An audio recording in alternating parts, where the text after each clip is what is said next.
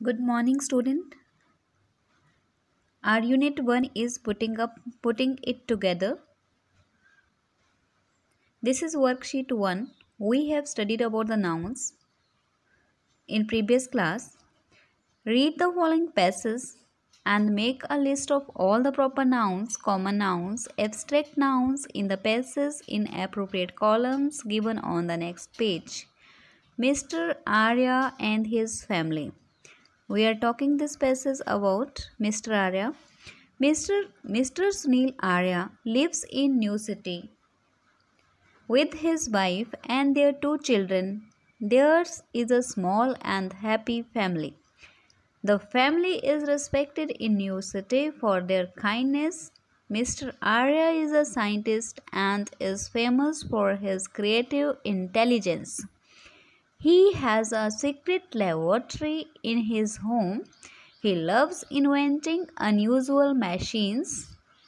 One of his most successful invention is human robot called Sid.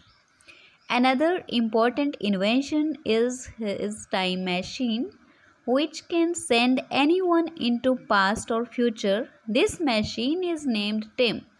Yet another wonderful machine is supersonic microphone called mic which can help and, and which can help anyone understand the language of animals.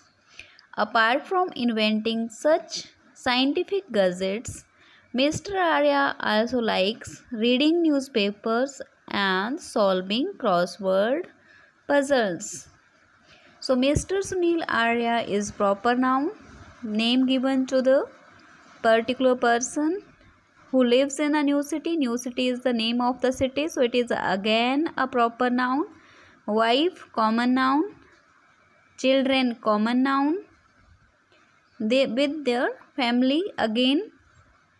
And new city common noun. Kindness abstract noun. This way the nouns which i have underlined in this passage you will mention whether they are proper noun, common noun or abstract nouns.